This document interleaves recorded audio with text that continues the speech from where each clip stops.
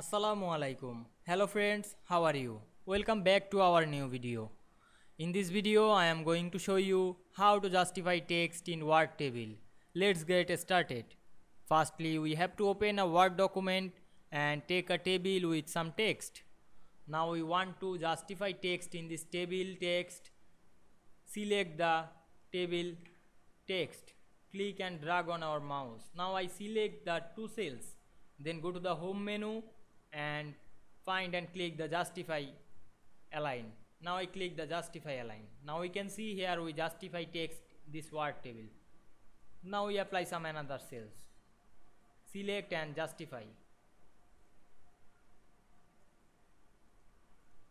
I hope you enjoyed the video. Please like, comment, share and subscribe my YouTube channel. Thanks for watching.